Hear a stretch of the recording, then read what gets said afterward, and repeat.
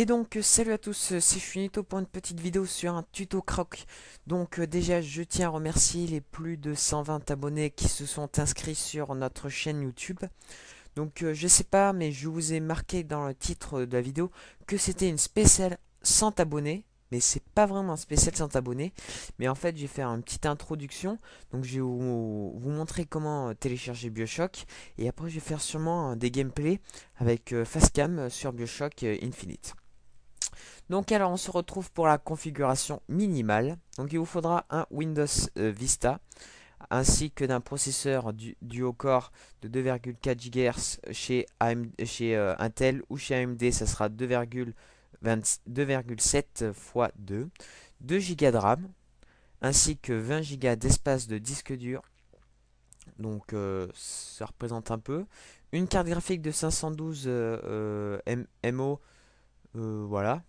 Et donc c'est pas vraiment énorme, c'est pas énorme. Et recommandé c'est un Windows 7 avec un quad-core, 4 Go de RAM, 30 Go d'espace de, disque dur, ainsi qu'une carte graphique d'un giga ou euh, d'un giga de... Voilà. Donc voilà, donc on a, on a déjà fait la configuration. Donc maintenant on va parler, on va passer à l'installation du jeu. Donc je vais vous mettre euh, le lien de la description euh, pour télécharger Bioshock Infinite. Donc vous aurez besoin du torrent. Donc je vous mettrai aussi le lien de uTorrent, bien sûr. Comme dans la plupart de mes vidéos crack, vous aurez besoin de uTorrent. Ainsi que de Time Tools. En fait, ça permet de créer une image d'un DVD donc ça fait semblant ça fait ça fait voilà c'est un créateur de lecteur de CD donc ça fait croire à votre ordinateur et au jeu que vous avez un CD dans votre euh, lecteur CD et en réalité non c'est juste virtuel donc voilà donc on a passé on a fait ces deux choses là donc ici une fois arrivé sur cette page là vous allez appuyer sur Get this torrent vous appuyez sur OK là vous arrivez à une torrent avec une page donc, bien, ben, ils vont dire, vous choisissez l'emplacement euh, du lieu où vous voulez installer euh, Bioshock.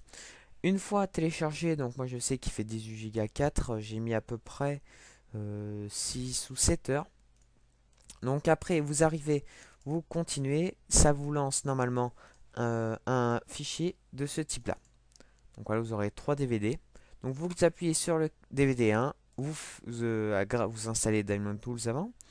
Euh, vous lancez euh, ce juste avec un double clic gauche, vous lancez euh, et vous allez apparaître sur l'exécution automatique de Bioshock. Vous exécutez tout ça.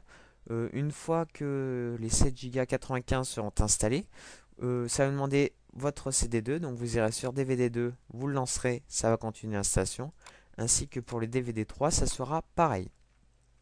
Donc une fois terminé, ça vous lancez une petite connerie avec euh, les cracks de Skyro, je crois, car c'est des personnes de Skyro qui l'ont fait. Donc vous fermez tout. Donc vous n'en avez plus besoin. Après, vous allez, donc là votre jeu est installé, vous allez dans votre ordinateur, euh, disque local et où vous avez installé votre euh, jeu. Donc vous allez dans Programme Files, moi c'est ici, et Bioshock Infinite. Ici vous arrivez ici, vous appuyez sur Binaries, Win32, et là, vous avez le Bioshock Infinite en application. Donc voilà, c'était un tuto assez simple. Donc euh, j'ai fait juste pour après passer sur quelques vidéos que je commencerai, j'espère, cette semaine. Donc je remercie aussi Feroda pour cette petite nouvelle intro. Si vous avez des questions à me poser, des idées de vidéos ou d'autres choses, n'hésitez pas à m'envoyer tout ça soit par soit par commentaire, soit par euh, boîte de réception. N'oubliez pas de liker, de commenter, de s'abonner si ça vous a permis d'apprendre à craquer Bioshock. Et je vous dis à très bientôt pour une prochaine vidéo.